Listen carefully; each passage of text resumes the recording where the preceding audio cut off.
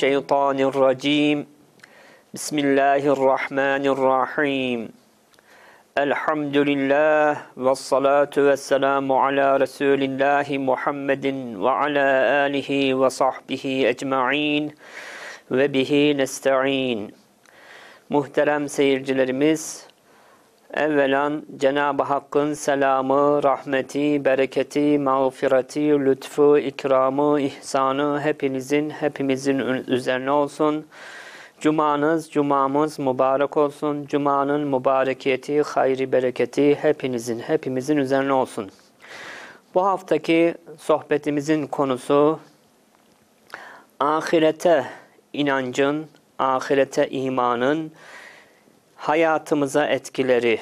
Yani ahiret inancının ne gibi hayatımızda ferdi olarak, şahsi olarak, sosyal hayat olarak etkileri nelerdir? Onlardan bahsedeceğiz. Cenab-ı Hak şimdiden sohbetimizin tesirini halk eylesin ve sohbetimizde hayırlara vesile eylesin. Muhterem seyircilerimiz, öncelikle ahiret inancı nedir? Ahiret nedir? Başta haşir nedir? Ondan başlamak istiyorum. Bir ön söz adeta, bir mukaddime olarak, bir giriş olarak.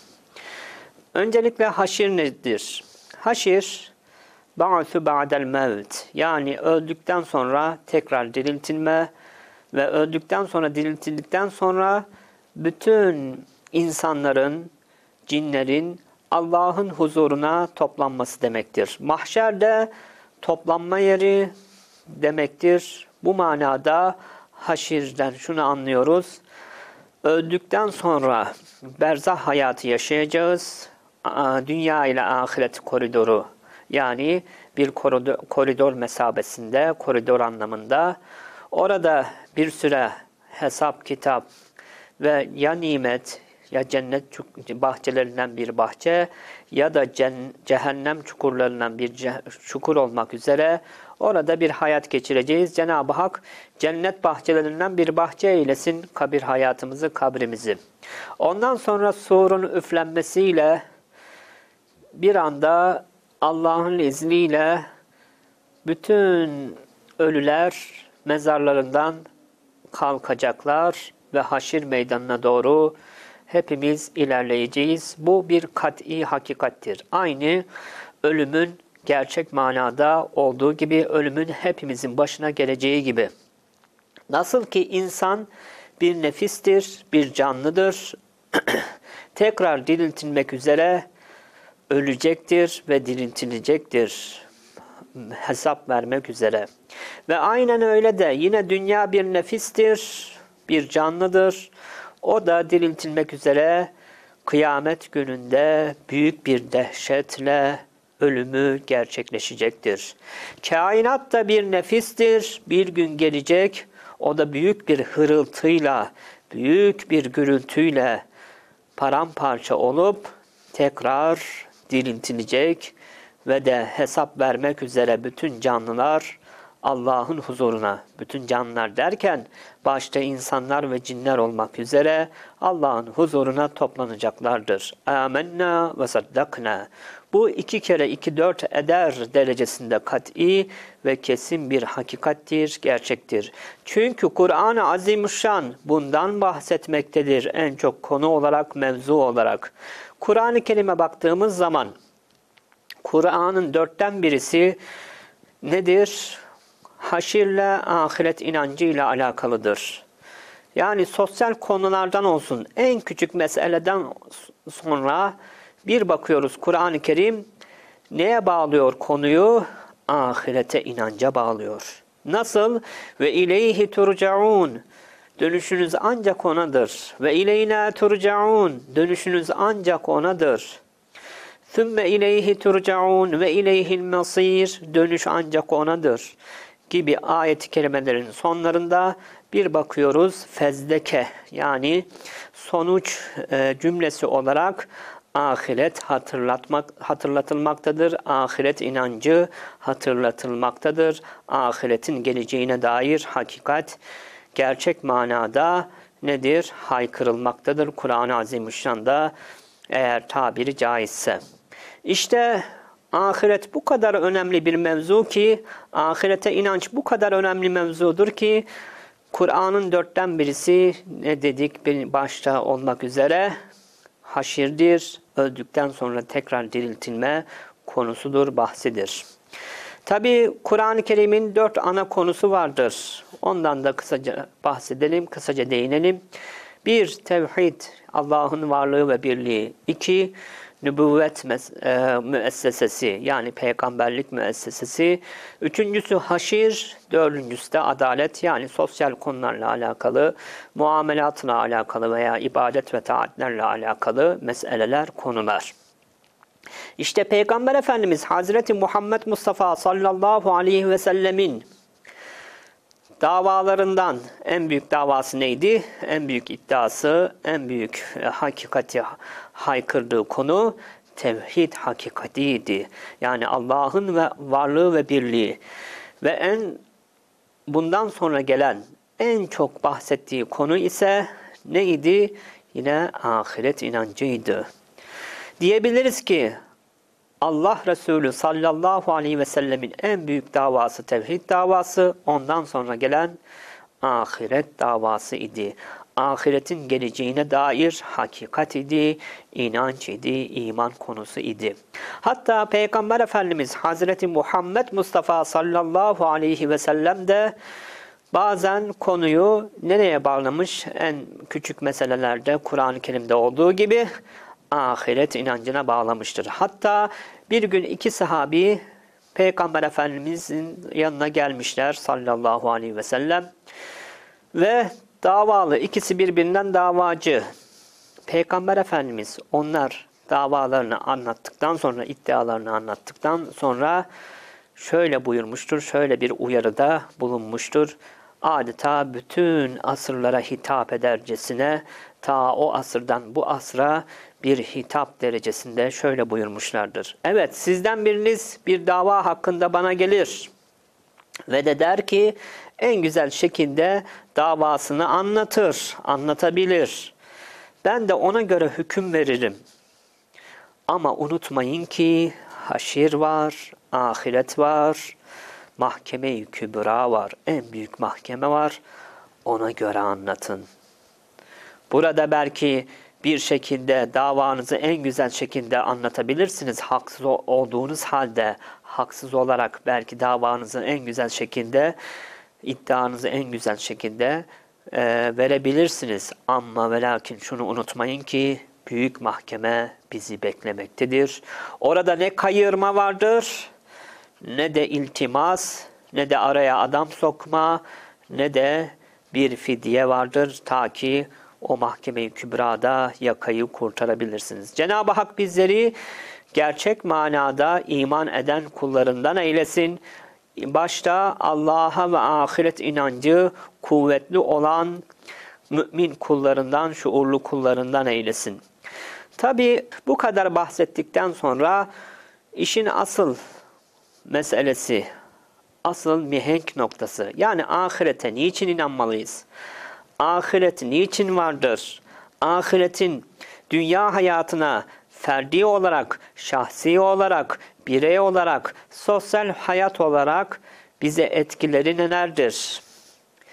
Evet, ahiret inancına baktığımız zaman ahiret inancı olmazsa kısaca başta özet olarak verirsek dünya bir keşmekeşe girerdi.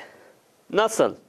Mesela çocuklar toplum hayatının, toplumun yarısını teşkil eden çocuklar. Eğer ahiret inancı olmazsa yanı başlarındaki ölüm hakikati onları dehşete sevk edecekti. Ve her daim etrafında gelen ölümler, vefat haberleri onun dünyasını karartacaktı ve de haylazlığa başvuracaktı. Ama ahiret inancı en yakınındaki bir arkadaşın vefatı hakkında ona şöyle telkinde bulunur.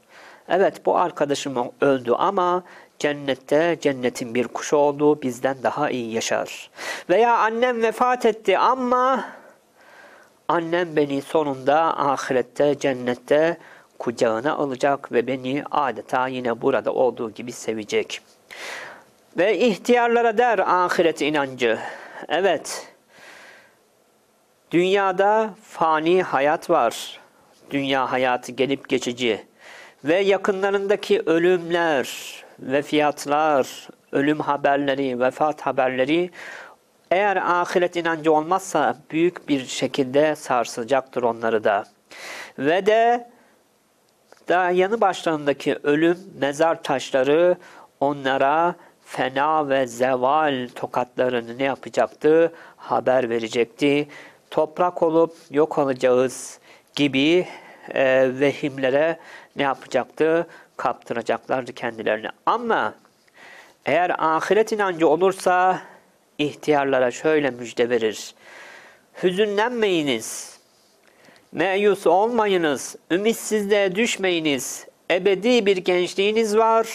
Ümitsizliğe düşmeyiniz. Yani ebedi bir gençlik cennette sizi beklemektedir. Size müjdeler olsun. Bu hayat gelip geçicidir. Bu sıkıntılar gelip geçicidir. Elbette Cenab-ı Hak sizi sizden daha iyi bilir ve herkesten daha şefkatli ve merhametlidir. Ve sizi eğer ehli iman iseniz ona göre cennetine alacak ve ona göre orada ebedi nimetler içerisinde gençlik, ebedi bir gençlik hayatını yaşayacaksınız. Cenab-ı Hak cümlemize ebedi gençliğini cennetinde nasip eylesin. Evet, gençler, akıllarını başlarına almayan gençler, hevesatları galeyanda, hissiyatları galeyanda olan gençler ve akıldan ziyade hissiyatlarına göre hareket eden gençler. Eğer ahiret inancı olmazsa onlar da serseri bir hayat yaşayacaklardır. Tabirimi hoş görün, serserilikte ileri gideceklerdir ve toplumun düzenini bozacaklardır. Yani nasıl, ne şekilde masumlara, mazlumlara, ihtiyarlara, güçsüzlere ne yapacaklardır? Onların hak ve hukuklarına riayet etmeyeceklerdir. Toplumun gidişatını, nizamatını, nizamını bozacaklardır. Ama ahiret der ki, ahiret inancı der ki, ey gençler, serseriliği bırakın, cehennem gibi bir hapis var, cehennem hapsi var. Ona göre hareket edin. Ve ebedi bir gençlik sizi bekliyor. Onlara da aynı ihtiyarlara dediği gibi eğer bu dünyada istikamet dairesinde yaşarsanız, iman dairesinde hayat bulup ona göre hayatınıza yön verirseniz ebedi bir gençlik var. Ona göre hareket ediniz. Zulüm, zulmü ve zulümleri ne yapar? Tecavüzatını önler ve gençliğe gerçek manada istikamet verir. Ve son olarak aile hayatı adeta toplumun zembereği hükmündedir aile. Ve herkesin küçük bir cennetidir aile. Ve en küçük yapısı olmasına rağmen en önemli müessesese aile müessesesidir. O da ahiret inancı eğer hayata hayat olsa, aile hayatına girse, evet yaşlanmış olan bir koca der ki, evet şimdilik eşim, zevcem, ihtiyare bir kadındır, çirkinleşmiştir ama ebedi bir gençlik onu beklemektedir. Ve cennette de beraber olacağız.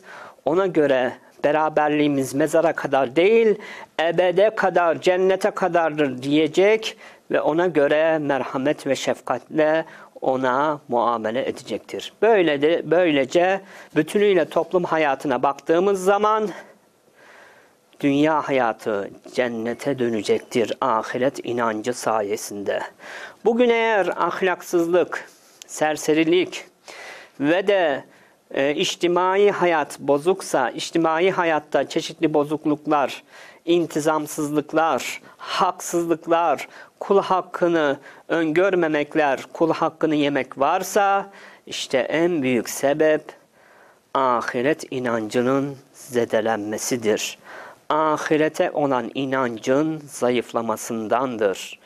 Eğer iman, Allah'a iman ve ahiret inancı tam olursa tabi diğer rükünlere de iman edeceğiz. Diğer iman esaslarını da göz ardı etmeyeceğiz. Onları da göz önünde bulunduracağız. Eğer ahiret inancı hayata hayat olsa, iman hayata hayat olsa elbette ki hem en küçük daire olup da en büyük vazifelerin bulunduğu aile hayatı, sonra toplum hayatı, bütün bir devleti milleti düşünürsek, bütün bir devlet ve millet huzur içerisinde ne yapacaktır? Hayatını idame ettirecektir, devam ettirecektir. Cenab-ı Hak bizleri şuurlu müminlerden eylesin. Kul hakkından çekinenlerden eylesin. Allah'a iman ve ahirete iman rükününe ve diğer iman esas ve rükünlerine tam bir şekilde nasıl iman edilmesi gerekiyorsa o şekilde iman eden kullarından eylesin bizleri.